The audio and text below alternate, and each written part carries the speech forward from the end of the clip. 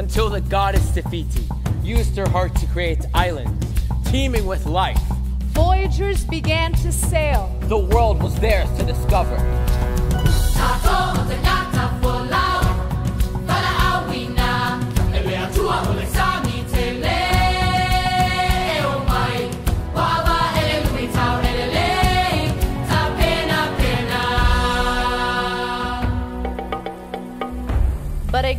Few sought Te Fiti's heart, wanting to possess the power of creation for themselves.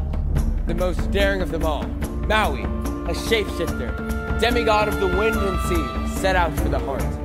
Using his magical fishhook, Maui transformed into a hawk, outsmarting his competition and stealing the heart from Te Fiti. Maui did not have the heart for long before he was attacked by Te A demon of earth and fire. Te Kā and Maui fought for the heart.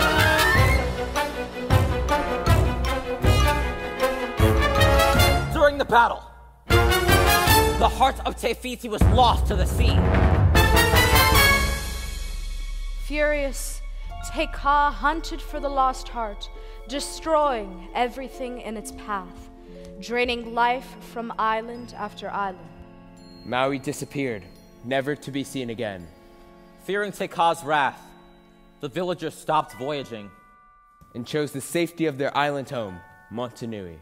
Maui and Te Kā became the stuff of legends. and the adventures of the voyagers were forgotten. But the ocean did not forget. For more than a thousand years, the ocean guarded the heart of Te Fiti. Searching for someone who could find Maui. Defeat Te Kā. Restore the heart of Te Fiti and, save mankind.